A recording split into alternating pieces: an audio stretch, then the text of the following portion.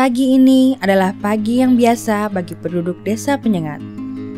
Inilah desa di mana suku anak rawa tinggal menetap, suku asli yang sudah puluhan generasi mendiami desa. Desa Penyengat adalah desa kecil di pesisir timur Sumatera. Desa ini berada di Kecamatan Sei Apit, Kabupaten Siak, Provinsi Riau. Sebelum matahari tinggi, dua orang suku anak rawa bersiap pergi ke hutan di tepian batas desa.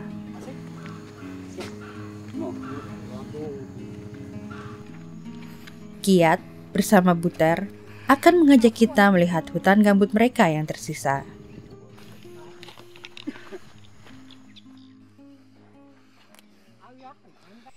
Sejatinya, sekeliling desa penyengat ini dulunya adalah hutan dan rawa gambut. Namun kini, hutan gambut yang ada makin sedikit karena tekanan dari luar.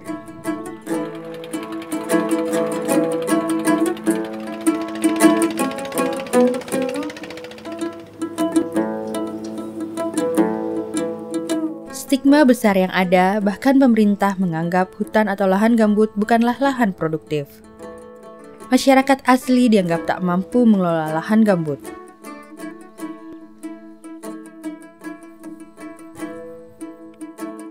Alhasil, ekspansi besar-besaran pun menggusur hutan gambut. Tanaman industri seperti akasia dan sawit kini menjadi tanaman homogen penghuni lahan gambut.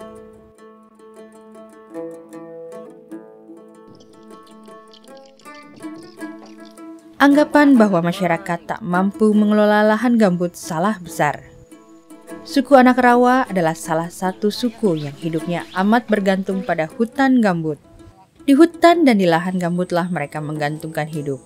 Secara turun-temurun, mereka hidup selaras dengan alam. Kiat Tengguter, mereka adalah penduduk asli anak rawa yang menggantungkan kehidupannya pada hutan. Sebagian besar suku anak rawa hidup sebagai pemburu. Namun karena kini hutan sudah sangat sempit, berburu diganti dengan menjerat. Buter adalah salah satu warga suku anak rawa yang berprofesi sebagai penjerat.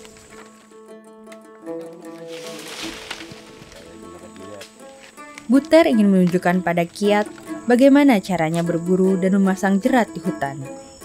Buter pun bercerita, dulu mereka sangat mudah menemukan hewan buruan.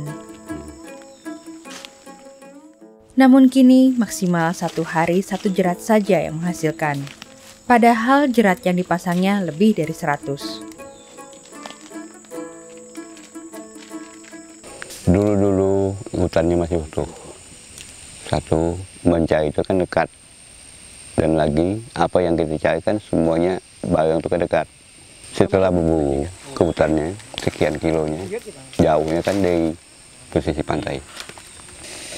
Jadi kami itu semakin lari semakin tidak dapat mencari, berburu tidak dapat, masang giat pun sudah berkurang. Apalagi macam prinsip nanggu itu tidak ada lagi. Nah tengok sini ternyata kan utuh. Nah jogetnya. Nah, belajar. Selain menunjukkan bagaimana cara menjerat hewan, Buter juga menunjukkan pohon sagu yang ditanamnya di dalam hutan. Biasanya sambil memasang jerat, Buter juga menanam bibit sagu di dalam hutan. Bagi Buter, menunjukkan pohon-pohon sagu yang ditanam kepada Kiat adalah kehormatan. Sebab Kiat adalah ketua adat suku anak rawa di desa Penyengat. Buter menanam pohon sagu di hutan untuk tabungan masa depan suku anak rawa. Selain berburu, sagu adalah salah satu hasil produk hutan yang dimanfaatkan suku anak rawa. Pohon sagu adalah salah satu yang dipertahankan suku anak rawa sebagai penghasilan mereka. Kebun-kebun sagu yang tersisa di sekitar tempat tinggal mereka adalah bukti dulunya hutan tidak jauh dari pemukiman. Tanaman sagu yang dimiliki suku anak rawa biasanya dipanen dengan cara sederhana mereka sendiri yang memanen pohon sagunya. Pohon sagu yang ditebang dibagi dalam beberapa bagian dan dijual langsung pada tengkulak atau pabrik sagu.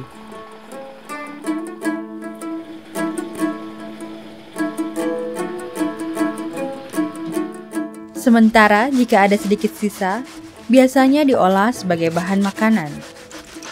Namun kini hal tersebut sudah jarang dilakukan oleh suku anak rawa.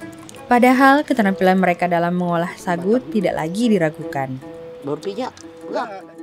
Selain berburu dan menokok sagu, suku anak rawa juga bekerja sebagai nelayan dan pembuat perahu. Salah satu pekerjaan yang turun-temurun telah menjadi mata pencarian mereka sejak dahulu. Sama halnya dengan kehidupan di darat. Nelayan suku anak rawa pun mengalami kesulitan yang sama. Mereka semakin sulit untuk mendapatkan ikan di laut dan di sungai. Rusaknya hutan ternyata berdampak pula bagi lautan. Kini, mereka harus semakin jauh dan semakin lama mencari ikan. Masuknya perusahaan sawit dan perusahaan kayu industri lainnya menggusur lahan dan hutan gambut tempat suku anak rawa biasa menggantungkan hidupnya.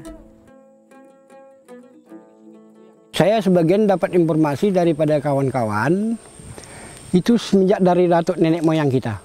Dari Sungai Kumpai sampai Sungai, Lakar, wilayah Hadat. Tapi sekarang dah punah sebagian. Ada yang berpindah tangan kepada orang lain, ada yang sebagian nanti, ya tak tahu lah kita, ada yang berkelompok begini, begini, begini. Mungkin dilelong sama orang lain.